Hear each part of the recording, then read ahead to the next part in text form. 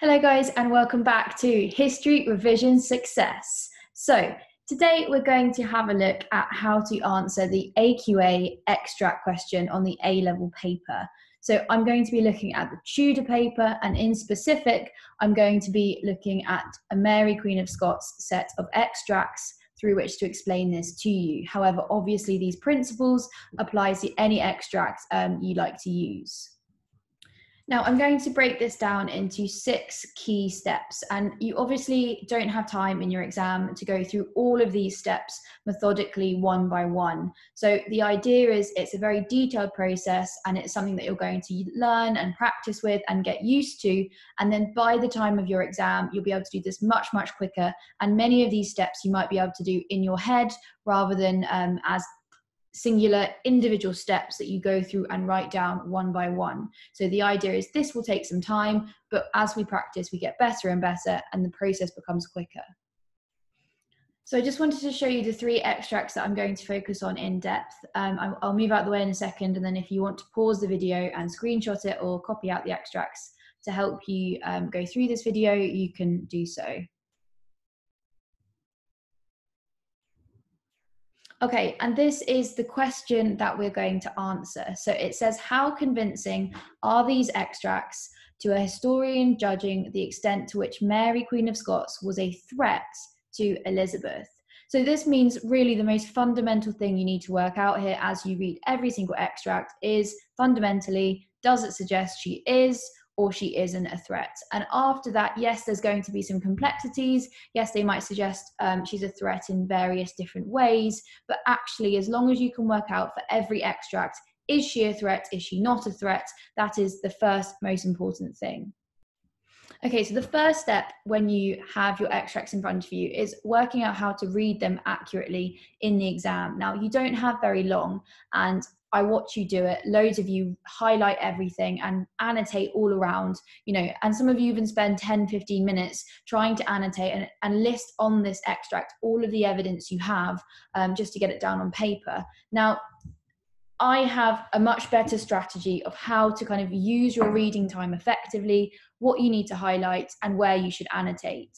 So, as you start to read the extract, what you need to do is everywhere you read something which suggests a new idea, a new point, I want you to highlight it. If you read something which is a good quotation, but for a point you've already highlighted, you don't need to highlight it at this point.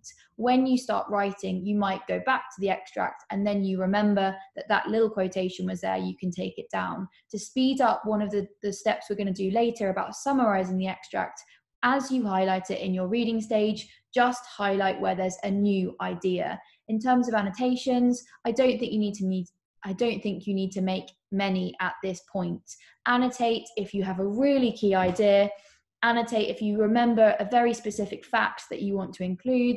Annotate if there's some quite confusing extract, you know, lengthy sentences that at the mo- at the time of reading you clarify them quickly jot down what they mean. But we don't want heaps and heaps of annotations around this extract when you're in your exam. As we practice as we prepare yes we might want to make some additional annotations when we have the time. Okay so this is the extract i'm going to talk through in depth and this is extract a the first extract um, by a man called bindoff. Now what I'd like you to do is pause the video and I want you, based on what I've just said, in terms of highlight where there is a new idea, think about which parts of this extract you might highlight, okay? And read through it and highlight every time you see a new idea or something new or developed that you need to deal with that the historian has said. Okay, so hopefully you got some quite similar ideas. Um, and as you see, you can have a look at what I highlighted. So as I read through this extract, these are all the key points that I picked out. New things that I think I thought to myself, I'm going to want to deal with these. I can't just ignore this. These are integral to the argument. They're very, very important. So we've obviously got the idea that she was a sister sovereign in exile who merited war honourable asylum. This idea that maybe she was in need of help. Um, and then the alternative idea that she was a Catholic claimant to the English succession. She was active and she could have been dangerous. Okay, so there's two ideas there. The first part that she was um, somebody who needed help, The second part, that she was a Catholic claimant to the throne. Now, I've gone on to highlight these last elements because I think they're really, really important. The idea of Mary as a magnet, as something which is going to unite the discontented, especially the Catholic discontented. Um, and that, that's already starting to make me think about the evidence I know that might match up here. Okay, so the next thing I need you to do, step two, is to think in a couple of words as briefly, as succinctly as possible. What does this extract suggest about my question? Now, we addressed the question and we thought about the fact that this is really asking you, is she or is she not a threat? So I need to think and work out what is Bindoff saying about this question? Well, what I think um, he's saying is that she was a threat. She did pose a threat However, that threat was unintentional, that she didn't actively pose a threat herself, it was just what she represented. So I've summarized that into two phrases. The first being an implicit, unintentional magnet. And the second, just for myself, thinking, okay, so she is a threat, but unintentionally. She didn't go out of her way to do this herself. So in the exam, I would write that phrase in big, big letters right next to the extract before I moved on to either read the second one or to start writing. I would have that on my annotations right next to it. Now, step three, what we, we've kind of worked out the overall theme of the argument here, but we need to kind of develop on some of the sub points that Bindoff is making throughout the extract. So what I'd like you to do is to think about each stage of the highlighting that you've highlighted now. We need to go back to it and we need to work out for each one what is the sub point? What is what is the um, kind of intricate detailed comment that he's making? So imagine it's it's like an essay a 25 mark essay and you have your overall argument but each paragraph builds on the argument to reach the conclusion. So i want you to essentially work out and imagine this extract was a whole essay. What are his points within it? Okay Okay, so please ignore um, the annotations for now and just focus really on the green writing at the top. But what I like to do when I go through extracts and think about subpoints is I like to think about each part of the extract, each phrase that I've highlighted that I'm addressing and trying to summarize into a subpoint and put a little number next to it that correlates with my number where I write out my subpoint. So I know exactly where the subpoint is written in the text. Now, what I came up with was the idea that actually Bindoff is saying that Mary was a sister who needed help um, and that she wasn't a threat in herself. And then, secondly, that Mary was a Catholic claimant to the throne um, and this made her a threat. Thirdly, that Mary drew together all of the discontented. She was a magnet, um, and that as a magnet, she is a considerable threat. And inside the text, if you want to pause the video, have a closer look, um, I've put the little numbers that correlate up to where I think this point is being made. Okay, so the next thing that I want us to crack is now how to put this onto paper. So before you even consider your evidence, before you even worry about where this is headed and whether you agree with it or not, the first thing you have to do in the opening of each paragraph, and there is one paragraph per extract, is address the summary of what the extract is saying. And this is essentially like our mini introduction to the paragraph, or a sentence. Ideally, a sentence would be perfect, okay?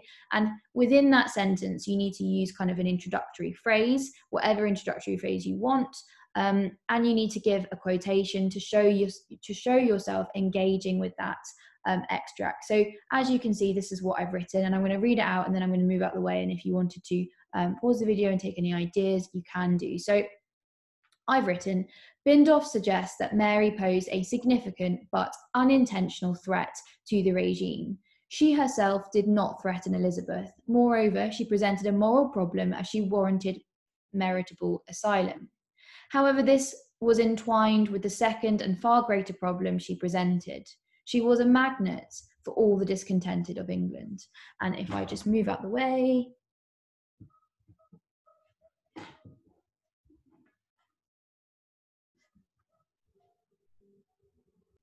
Okay, so once you've introduced your extract in your exam paper, now you need to think about overall, do you disagree or agree with the argument? Now, of course, you can have some nuances within your assessment. You can agree with the overall argument, but think that some or a couple of the points have been over exaggerated or are slightly misleading. That's absolutely fine. But what we absolutely don't want is this is right, this is wrong, this is right. Okay, we want to show that we've understood the fluidity of the argument and that as a whole, there is a sense of whether you agree with it, whether you think it's good, whether you think it's convincing, or actually whether you think it's quite flawed. Now, we're going to think about our nuances in a minute, but you need to have this overall idea. Once you have your overall idea, um, you can start to think about your evidence. Now, we're not going to do this if we're in the exam because you just need to go. You need to have these ideas already. You need to think about it in your head and just write in your paper. You don't have time to do this, but we have time. So, what I've done is I have annotated onto each of my sub points the evidence that I can think of that fits, that proves whether what Bindoff is saying is true. And in red, I have um, provided evidence that I believe supports Bindoff's assessment, and in orange, I have provided evidence that might critique his assessment. So have a have a look at it. I've thought of the ideas such as the plots and rebellions. So I've gone into detail with the idea of my second subpoint that suggests that she's a Catholic claimant, and I've I've talked about the fact that she was the granddaughter of Margaret Tudor, Henry the, the eighth sister, so she was technically the next in line to the throne, and she's arguably much more legitimate than Elizabeth um, due to Elizabeth's mother's divorce and rumoured adultery, and the fact that she's really an unacceptable heir to the Catholic majority in England. Um, I'm thinking with this about the idea of the fact Elizabeth was excommunicated in 1570 and that inference that all good Catholics should therefore remove her. Um, then I kind of move on and I think about my, my point number one that she was a sister who needed help. And I think about the positive relationship that's very evidenced between the letters between Elizabeth and Mary, the fact they call each other sister, the fact that Elizabeth becomes the godmother of Mary's child, James. Um, that Mary is forced from the throne by the Lords of Congregation, which would warrant her um, in need of Elizabeth's help. Um, and then I've kind of thought of some nuances there, and actually, you know, that that is the case, but there are some complexities to that relationship. And actually, um, some of Mary's actions did undermine directly Elizabeth's role, and and actually maybe perhaps Bindoff is being a little too generous to Mary. Um, just moving on, just to explain all of them. So, with the idea that um, Mary was a magnet. I think this is a really, really fantastic idea, and I've supported that with the with the concept that actually she does become a figurehead for much combined support between domestic and international Catholics. For example, um, Philip of Spain and Henry of Guise, um, who was head of the Catholic League, and are later about to to combine in the Treaty of Joinville. Both support the Throckmorton plot, um, which also has papal support. Um, and then again, I'm thinking about the idea of there being lots of internal domestic plots against Elizabeth. Mary comes to England in 1568.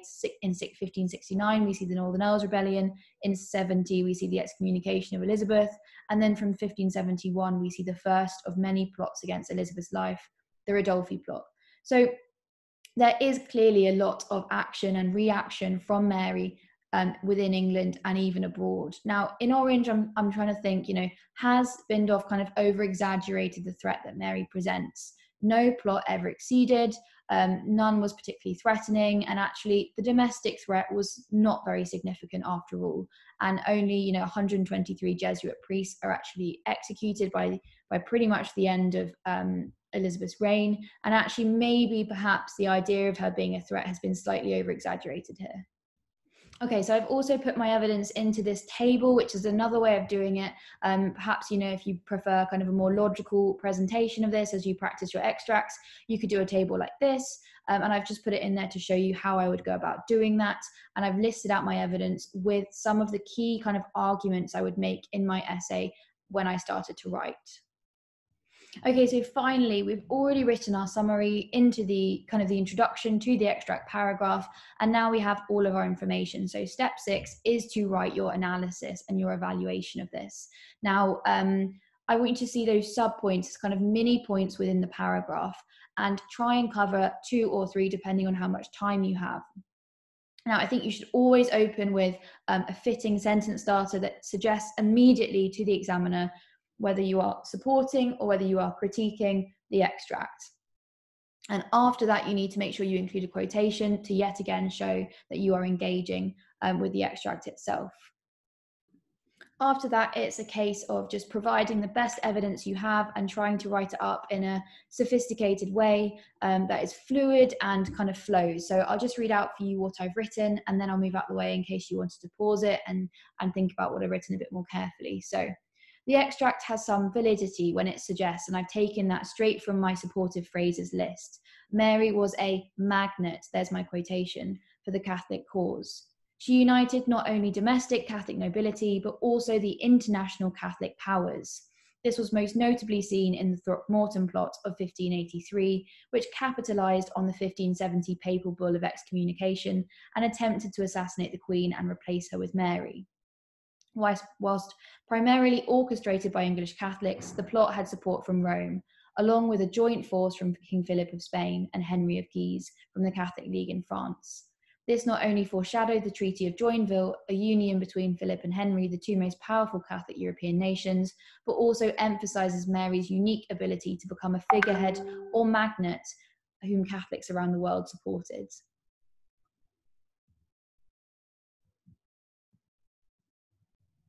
So what you've hopefully noticed is I've tried to pack that with evidence and really try to show the examiner that I deserve an A star.